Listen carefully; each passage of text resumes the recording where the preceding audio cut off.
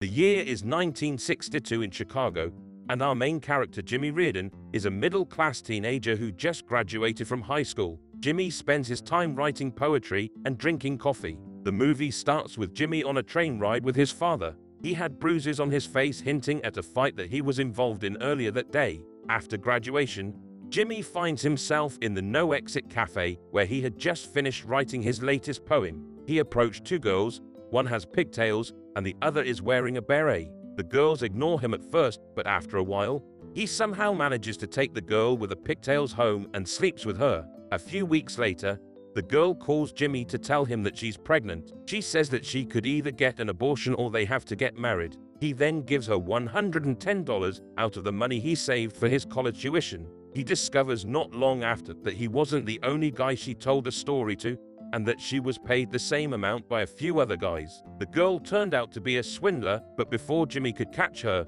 she had already skipped town, and Jimmy never saw her again. The next evening, Jimmy visits his rich, upper class best friend, Fred Roberts, and asks to borrow $110 from him to make up for his college fund. He tells Fred that his parents found out about the girl and now they won't help him pay for his college tuition until he pays back the $110 that he took without their permission. That won't even cover your books in today's college. Fred lectures him about being irresponsible. Jimmy describes Fred as having buttoned down mind and buttoned down bank account in reference to his favorite outfit, a button down shirt. Jimmy hints that Fred will not let him borrow money, but he already thought of a solution to persuade his friend a brilliant solution, he calls it. Jimmy knew that Fred had never slept with a girl before, calling the situation chronic virginity. He capitalized on this condition and talked his friend into letting him borrow money. In exchange, he would help Fred find a date that same night. They drove around town, but it was raining hard, and all of the places they thought of going to were closed. The deal was, Jimmy would find Fred a girl by 2 o'clock, and the $110 is his. It is now past 2 o'clock, and they are still driving around. Fred gets frustrated and tells Jimmy that they should go home, but Jimmy manages to convince him into staying longer. They stop at a local diner thinking that it would be filled with college girls, only to find out later that there was no one in there except one girl who is reading a book. Jimmy and Fred approach her, introduce themselves, and pretend they're college students. They invite her to the no exit bar, telling her that there will be poetry and music. She agrees and Jimmy asks Fred to pay the bill while he escorts the girl to the car. In the car, the girl asks Jimmy to help her with her hair clip, and they end up kissing. Fred catches them and walks away pissed off, accusing Jimmy of being a bad friend. Jimmy then runs after Fred and convinces him to walk back to the car. He agrees, albeit angrily, only to find the girl was already gone. Jimmy tells Fred that she left because Fred hurt her feelings by being angry, gaslighting him. Fred gets even more angry and drives away, leaving Jimmy behind. Jimmy gets drunk and starts throwing beer bottles at a passing train. He's upset about the fact that without his college tuition, he might be stuck in a small suburb forever while his rich friends go off to their chosen Ivy League schools. The morning after, Jimmy wakes up to his mother knocking on his bedroom door. She tells him that whether he likes it or not, he is going to college. She tells him that his father wants him to go to his old college, but Jimmy protests saying that he doesn't want to go to an all-boys boarding school. His mother tells him that most children would be grateful for his opportunity, but this doesn't change Jimmy's mind. The next day, Fred picks up Jimmy to go driving with their friends, including Fred's girlfriend Denise Hunter, and they arrive at Lisa Bentwright's house, where Jimmy finds her playing tennis. He and Lisa are in a complicated relationship, which is often the source of their arguments. Jimmy thinks that Lisa is embarrassed of him because she's wealthy and he's not. Lisa argues that she's not, saying that the only reason she can't be alone with Jimmy was because her mother won't allow her to go out. The couple make up and Jimmy tells her that he decided to go to his father's college after all. Lisa then tells Jimmy that she's going to Hawaii, and Jimmy suddenly decides to change all his plans and go with Lisa. Jimmy then focuses on coming up with enough money for a plane ticket to go to Hawaii. He only needed $88 on top of his college tuition. When he gets home, Jimmy tells his father about his plans to go to Hawaii, but his father gets angry. This doesn't stop Jimmy from saving money and starts taking more jobs as a cleaner. Later on, at Denise Hunter's house, she finds Jimmy in her bedroom waiting for her. It turns out that Jimmy and Denise have been sleeping with each other while they're both in different relationships. Denise with Fred and Jimmy with Lisa. After fooling around, Jimmy tells Denise that he's leaving for Hawaii. He then asks to borrow $60 from her and she declines, saying that Fred warned her about Jimmy asking her for money and that she should say no if it ever happens because there's no guarantee that Jimmy will pay her. At this point, Jimmy had run out of people to borrow money from when he thought about Mrs. Spaulding, his boss mother, an elderly wealthy woman who lives alone with her housemaid. He goes to her house with only one goal in mind, to get $60, whatever it takes. Mrs. Spaulding has a big party coming up and is eager to invite guests. Jimmy tells her that he knows a lot of people who are coming to her party but will only tell her if she gives him money in exchange for the information. Unabashed by this, she instead asks him for information about another older woman in town. Jimmy makes something up, and she believes him. Mrs. Spaulding's housemaid watches her like a hawk, but she manages to collect $60 out of the places she hid her money behind a frame, inside a doll's skirt, behind the vinyl player, you name it. She then gives the money to Jimmy,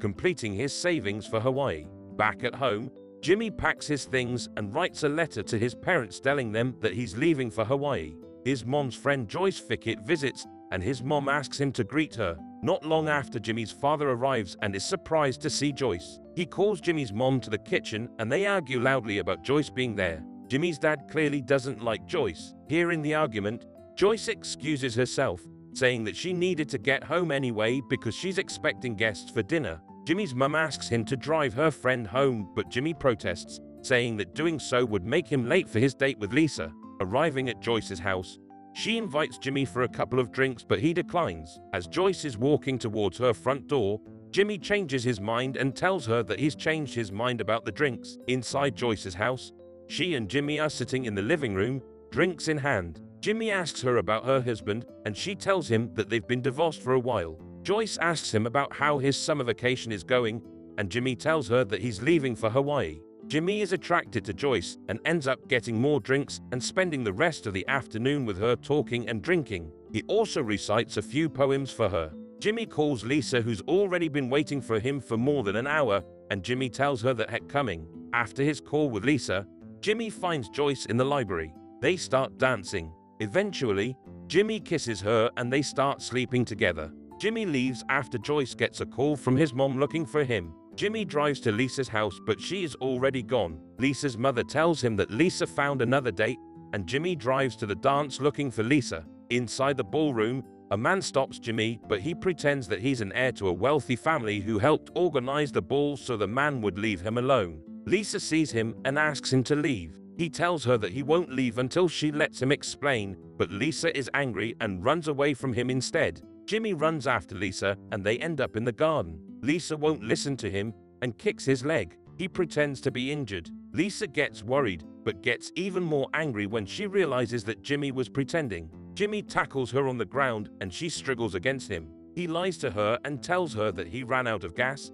That's why he was late. Jimmy tells her that he was hurt that she took another date instead of him, but Lisa argues that she waited two whole hours for him. She's upset because she had plans for them that night and now everything is ruined. Lisa leaves Jimmy in the garden. As long as Lisa is gone, two guards approach Jimmy and forcibly escort him out of the party. Jimmy struggles, but as soon as they reach the front door, his friend, Susie Middleburg, another wealthy heiress, is standing on the balcony looking down at them and commands the guards to stop. She runs downstairs and tells them that Jimmy is her fiance and they apologize. As soon as the guards are gone, Susie and Jimmy walk out of the party to find his car. They drive to a fancy restaurant to have dinner. They talk about Lisa's current date, Matthew Hollander, who also writes poetry just like he does. This information makes Jimmy even more jealous and upset. He speeds up the car and goes back to the party. Inside, he sees Matthew on the stage playing the harmonica and reciting poetry at the same time.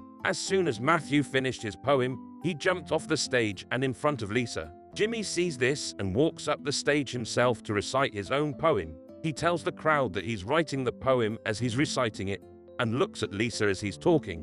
He starts insulting the entire crowd using the poem and cusses them in the end. The crowd gasps in surprise and Lisa walks away with Matthew in tow. Seeing Lisa leaving, Jimmy jumps off the stage and starts running towards her. Watching all of this unfold, Susie is the only one clapping her hand, finding the whole ordeal extremely amusing. As Jimmy steps into the front door, He sees Lisa walking inside Matthew's car. Jimmy starts chasing them with his car. After a while, Matthew suddenly stops. He and Jimmy step out of their respective cars, and Matthew tackles Jimmy, not letting him land a single punch. Lisa, who is now crying, calls Jimmy's name but doesn't do anything to help him either. Matthew and Lisa drive off, leaving Jimmy on the road, bloodied and defeated. Jimmy starts driving home and ends up crashing on a post. He sees a nearby telephone booth and calls Joyce. She's still half asleep when she answers the phone and thinks that it's Jimmy's father. At first, Jimmy is confused why Joyce is calling his father by his first name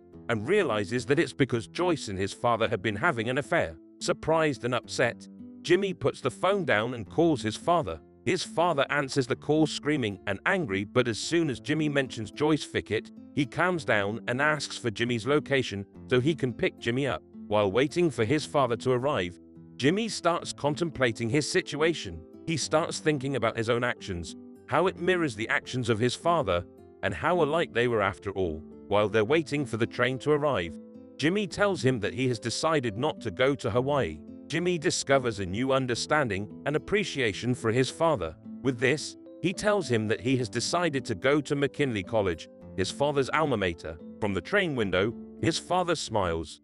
Subscribe for more videos like this. Turn on notifications and leave a like. It really helps the channel.